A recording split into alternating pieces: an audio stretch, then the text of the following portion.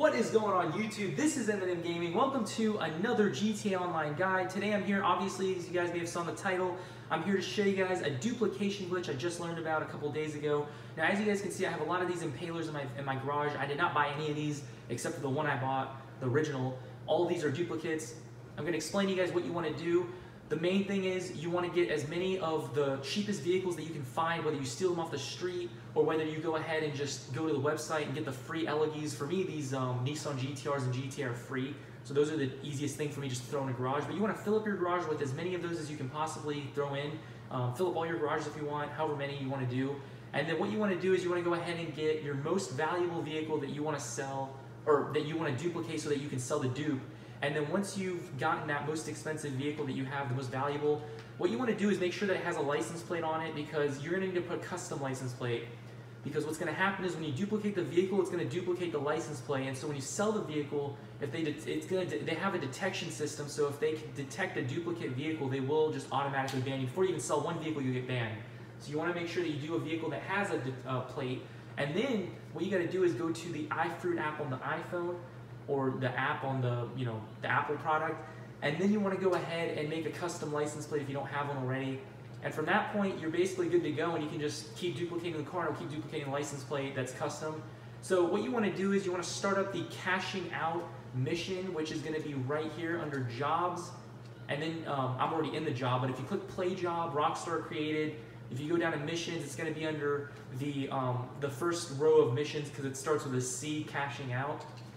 And then what you want to do is as soon as you start the mission, you want to go ahead and just drive all the way over to the waypoint, which isn't that far. It's about three quarters of a mile. It's about, you know, maybe 0.8 miles.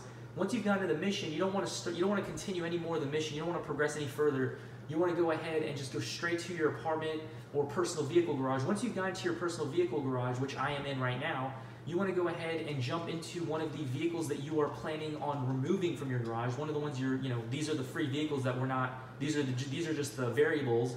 I'm going to go ahead and get in one of those. As soon as you've gotten into one of those vehicles, you are going to go ahead and slowly and carefully just drive it a slight bit away from your garage, maybe like 10 feet away, just so it doesn't have an issue. Don't crash it. That's the one big thing. Then you're going to go back into your garage, get the vehicle that obviously you're trying to duplicate, which is worth money. You know, you want to make sure you get a, a, valuable vehicle so that you make it worth your while to duplicate and sell. And then once you've gotten into that vehicle, you're going to drive that vehicle out. Normally, it will not bring. So I'll show you guys over here. Normally, when you get into the, the like the next vehicle, it won't actually. Let me drive over. Let me walk over here. Normally the other vehicle won't actually reappear as usual. It will not reappear, but it may actually reappear because it did it earlier to me.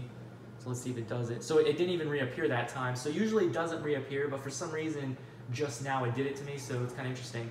But once you come outside with your vehicle that you're trying to duplicate, which obviously is this vehicle, you're gonna go to your interaction menu, click on vehicles, click request personal vehicle. Once you get this message that says delivery in progress, you're gonna wait until you see a new message, which is gonna say your special vehicle, your, your special slash personal vehicle is already, um, you know, you're already using your special personal vehicle. Then you're gonna back out of it, drive back up to your garage, go into the same garage again, or it doesn't really matter, whatever garage you decide to go into. As soon as you go into the garage, you're gonna see that you have a duplicate vehicle and that the Elegy has disappeared. As you guys remember, there was an Elegy sitting right here. Now it is a duplicated vehicle. Um, we still have a couple more Elegies that I'm, I'm gonna be doing. But um, again, what you want to do is you just want to make sure that you come out with your, you want to go out with your car that you're trying to get rid of, and then as soon as you go back in with, you, as soon as you go back in and come out with the new vehicle that you're trying to duplicate, you, you, you call the um, vehicles on the interaction menu, you click on request personal vehicle. As soon as it gives you that message that says you're already in it, you go back in your garage, and then that's as simple as that. So again, um, pretty pretty easy. But what you want to do is before you do leave the mission, you want to make sure that you go to your interaction menu, go to style, change your outfit really quickly. And you want to make sure that you change your outfit because if you don't change your outfit and it doesn't auto save, you may actually have an issue. I usually do that just to be safe. But the other big thing is that you want to make sure you go to your job list rather than going to online and clicking leave session or find new session, which is what I normally do. I never even knew you could actually do it this way. You want to go to your phone and you want to click on job list and then you want to click on the X button or the button that would click delete. And then once you click that and you click confirm, it'll exit the mission and it'll make sure that it saves everything you've done. So that's pretty much all there is to it. But just wanted to show you guys this glitch that I found.